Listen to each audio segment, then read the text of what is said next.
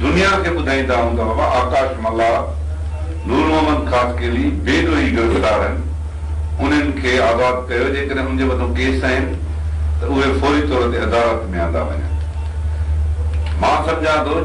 क़ौमी महाराज अहिड़ी रियासत खऊं जेका बेशर्म ऐं बेहया रियासत हुजे जिते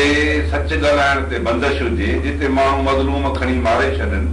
जिते अॼु बि न हज़ार जे तइदाद में नौजवान बलोच गुम आहिनि अॼु बि जा मसख थियल लाश पिया मिलनि ऐं कहिड़ो मुतालबो कंदासीं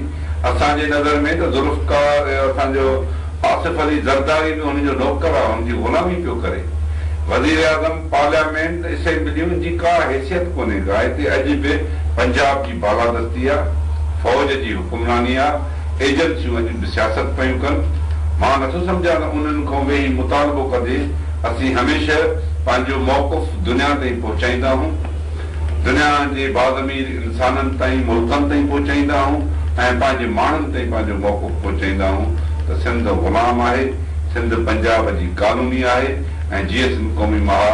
सिंध खे उन ग़ुलामी मूं कढण जे लाइ आज़ादु सिंधू देश जे लाइ जदोजहद करे